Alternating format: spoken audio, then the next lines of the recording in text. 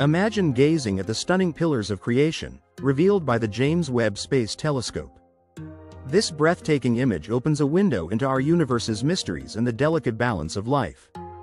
Have you ever wondered why the fundamental constants of nature are perfectly set for life?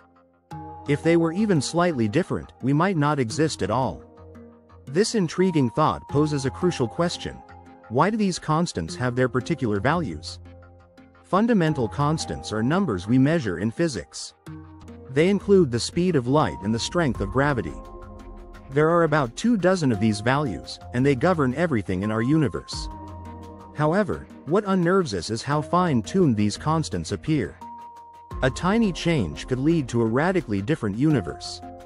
For example, if gravity were stronger, stars would burn out too quickly for life to flourish. If the speed of light were faster, stars might never form. Each constant plays a vital role in making our universe conducive to life. Furthermore, we can visualize this vast cosmos with the James Webb Space Telescope.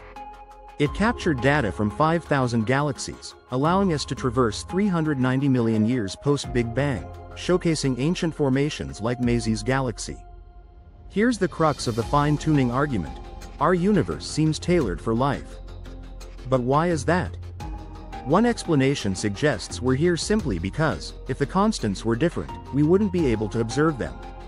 This is known as the anthropic argument. However, many find this perspective unfulfilling. They suspect there's more to the tale. Another theory hints at a multiverse, several universes, each with different constants.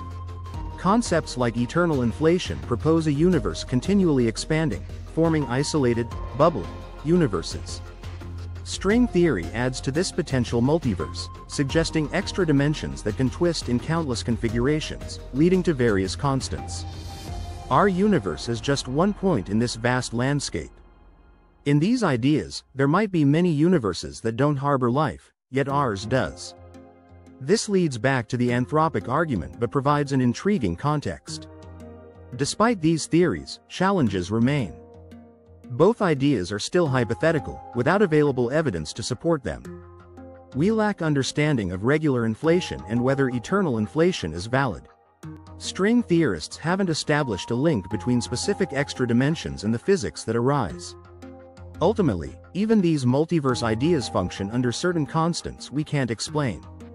As we marvel at the stars, we recognize the need to keep searching for answers.